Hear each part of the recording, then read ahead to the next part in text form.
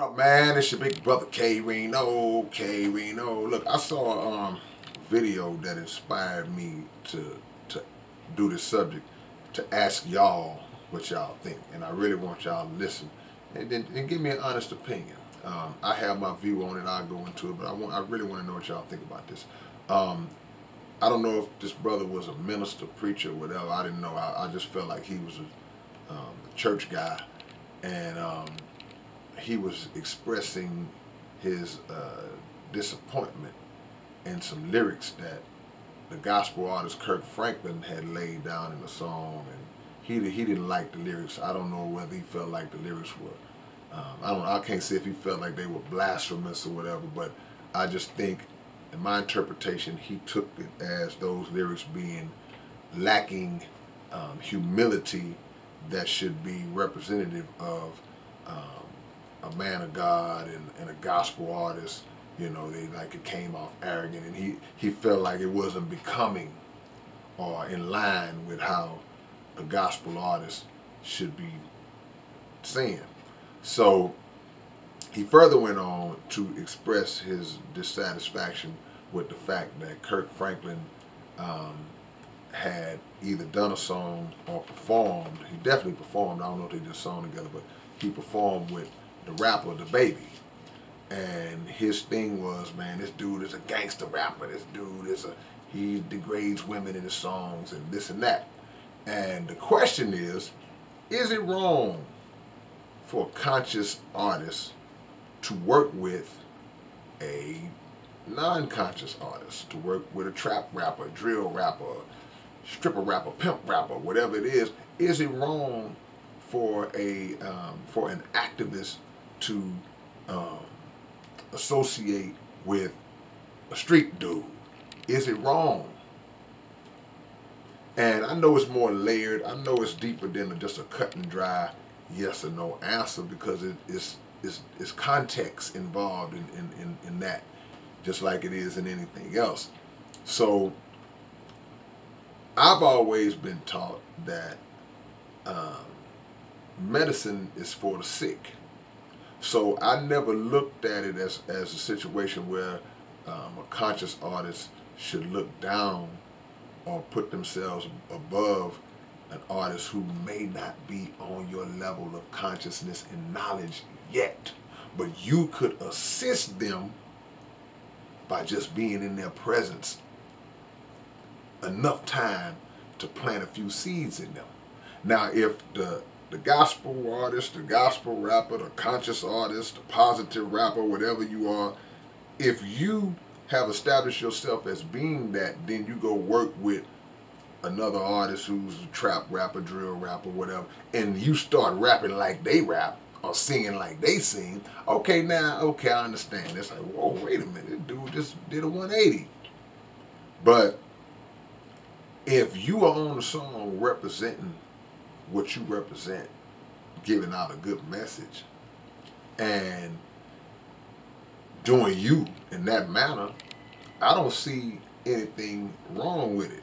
The only thing that people may have, you know, a leg to stand on in, in terms of um, contradicting, I mean, in terms of disagreeing with that, they may feel it's a contradiction if you on there speaking positive and he's still on there going crazy, you know what I'm saying? So there has to be time because I know myself, you know, and I ain't acting like I'm no model citizen and perfect example, but there are certain songs that I'm just not gonna do anymore. Certain things I'm not gonna rap about. So you can't call me for a collab or a feature, and I said, okay, that's cool. Let's get it on. What we talking about? And oh man, we talking about how we be pimping these hoes out here. I'm not gonna be on that song with you. I'm gonna reject that one.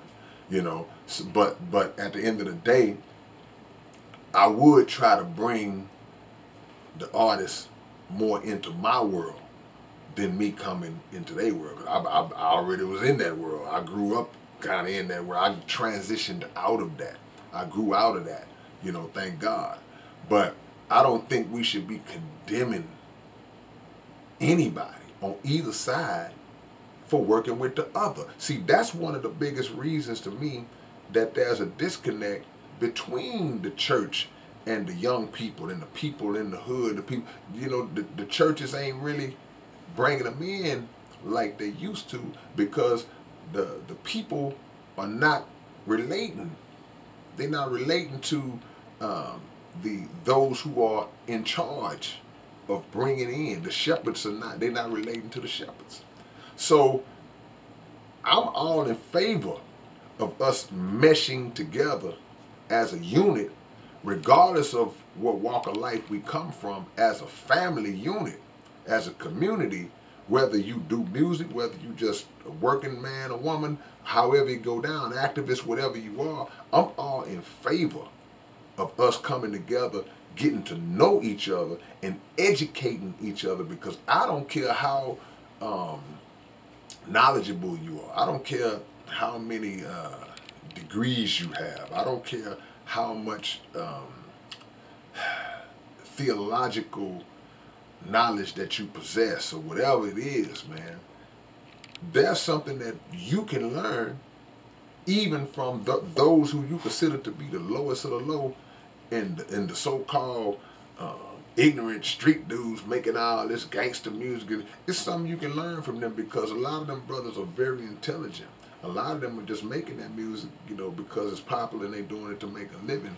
And even the ones who may not understand it yet, okay, that's where you come in to try to teach. But to separate and say, man, we should need, why are you working with him? You're supposed to be a man of God and you up there with DaBaby. Well, who did, who did Jesus run with? Who did Jesus? Jesus was chilling with, with the sinners and, and, and, and the publicans and the, and the people that just, I didn't say Republicans, but Jesus was in the cut trying to get down with those who needed the knowledge, not exalting himself above them. See? So I think that the message is off when you try to condemn somebody. Now, I again, I use Kirk Franklin as an example because it just gave me that thought in mind because it, it's not just him. It's a lot of people that people in general people will just say, well, if you're here, you shouldn't deal with that. But what is your purpose? If you're church folk or whatever, you what's your purpose? Your purpose should be to try to go out and save people to, to, to drop that message on them and save them. So it, it's kind of it's kind of backwards to me, you know, to have that to have that thought process, man. Y'all tell me what y'all think about it. You know, y'all tell me how y'all feel because I know that a lot of our young people are perishing from a lack of knowledge, and, and really everybody is perishing from a lack of knowledge because um, we don't want to deal with each other we feel like the other one is crazy. Man, them young people crazy. Man, them old people throwed off. They, they, they, they don't know what they're talking about. When in reality, we're not going to make it without each other. Because we both have elements of inside of us that will lead to our collective success if we implement principles of unity and not cast judgment on each other because we done all fell long of the glory. All right, man, it's your big brother, K-Rino. You tell me what y'all think about this one, man, and leave your comments below. Interested to hear what y'all got to say. And um, I'll see y'all soon. Peace and blessings.